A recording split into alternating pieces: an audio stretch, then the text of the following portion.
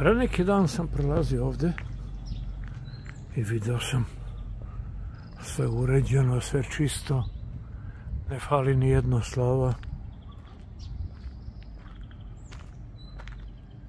Ova prijemna kućica sređena, kapi ofarbane, širom otlučana, trava okošena, fasada čista.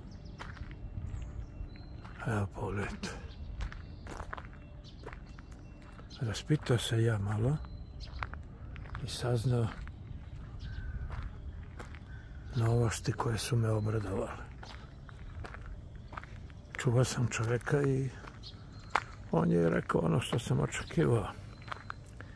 Evo došle inspekcije, ali kad budete mogli dođite. I evo ja iz Dobrodolske ulice pravo ovdje. Kragujevac. Vidi se da ovaj auto stalno putuje. Nekada davno ovdje sam dolazio da radim sa priloge sa direktorom. Ulazio u pogone. U ono vreme ovo je bilo mlekara pred kojom se stajalo mirno. Pirotska mlekara.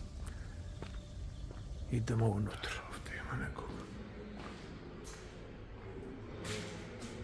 Dobar dan. Ima li koga? Čisto sređeno.